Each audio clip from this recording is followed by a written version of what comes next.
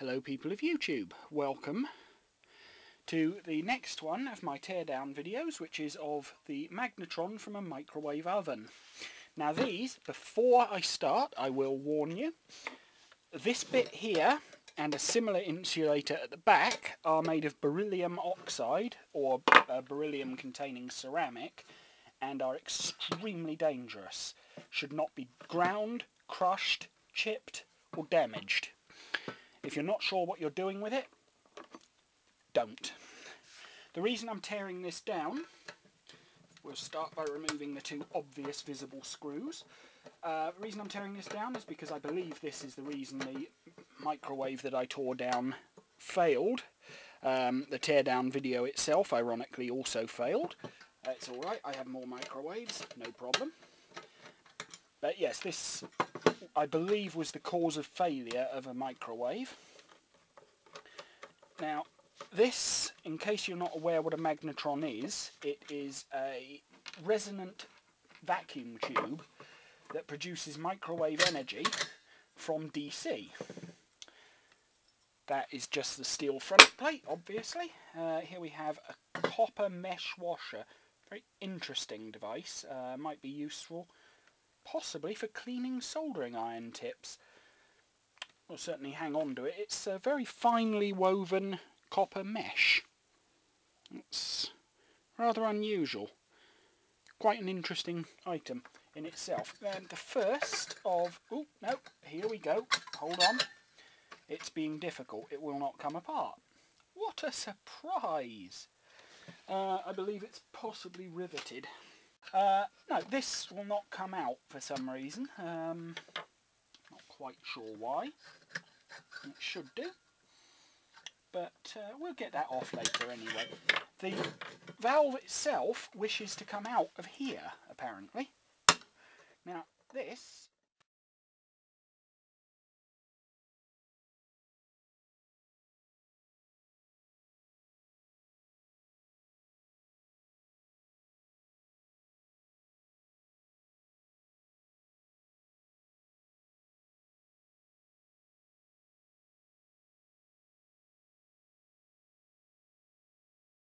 Right.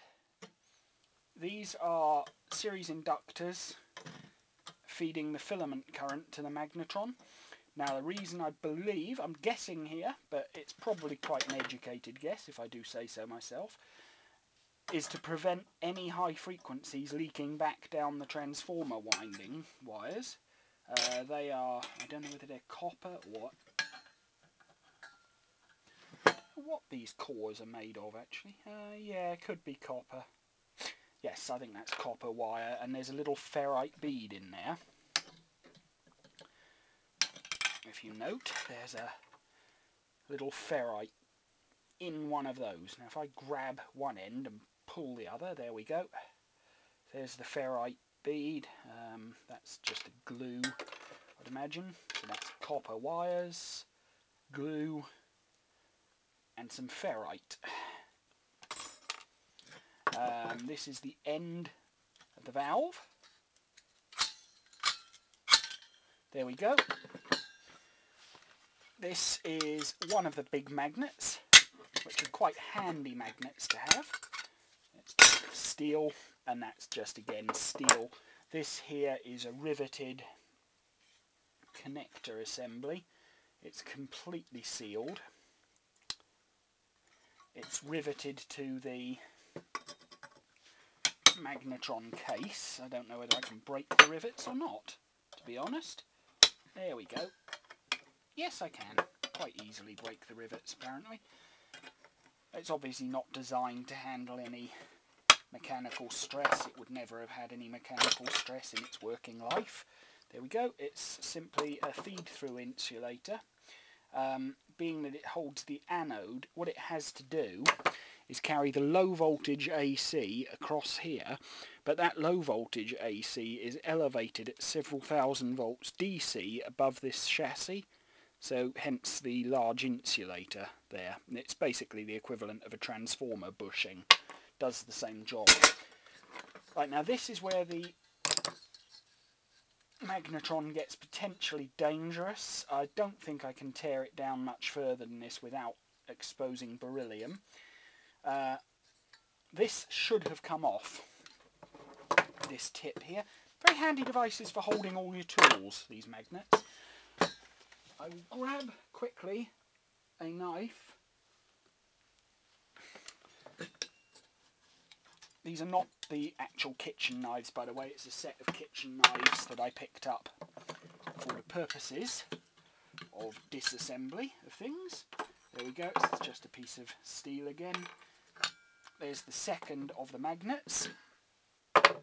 Um, they're not neodymium magnets or rare earth magnets at all, but they are quite powerful, as you can see. Uh, ooh, there we go. They're fairly powerful as non-rare earth magnets go. I can quite happily move that through a two inch thick oak table. Actually no, I don't think it's oak, I think it's pine, but it's two inches thick. And that's actually powerful enough to hold the underneath magnet on. enough playing with magnets now. I don't know... Ooh dear, that's shattered. Ah well, we now have lots more magnets. Word of warning with those, they're very fragile. They're also two a penny because there are many, many dud microwaves around. Now these are aluminium, or aluminum if you're American. Uh, they're purely cooling vanes. These should be able to peel off of the magnetron without any damage. I don't... I'm not entirely certain whether they will. We will find out basically the low voltage goes in here for the filament across these two.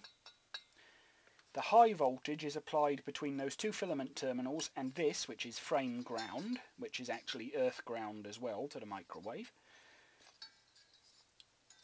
And the high energy microwaves come out of here. They don't come out of the hole.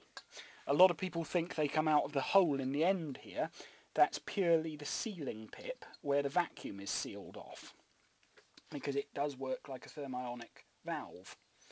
It's not as simple as it looks outside. Um, I will link to the Wikipedia article on magnetrons in the description for the video.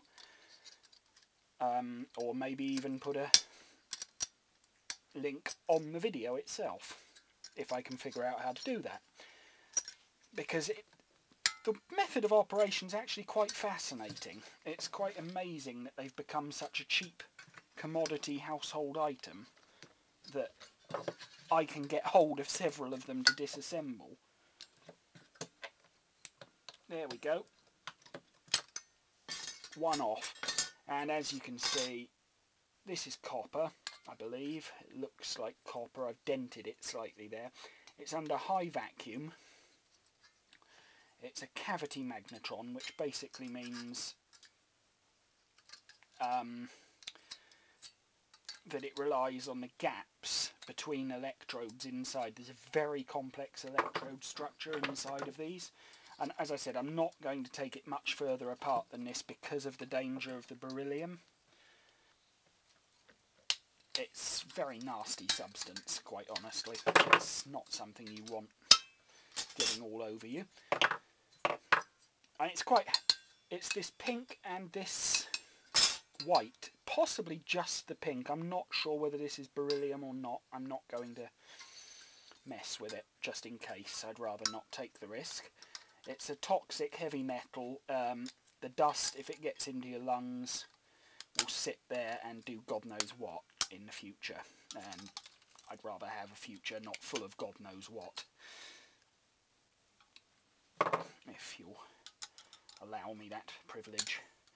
But yes, it's fairly simple to remove the aluminium here. It's not worth doing for financial reasons, but it is worth doing for pure interest reasons. Um, I have never seen a magnetron torn down on YouTube except for once by an Indian gentleman who probably did quite well, but unfortunately the camera wasn't focused very well on what he was doing, and it was at great distance. Right, this is the aluminium scrap, and this is the actual cavity. Inside there is all the works, which I am not going to expose, but I will, as I said, link to the YouTube video, uh, not the YouTube video, sorry, I will link to the Wikipedia page showing the workings of these things. And thank you very much for watching. Uh, please, if you have any questions, feel free to ask in the comments.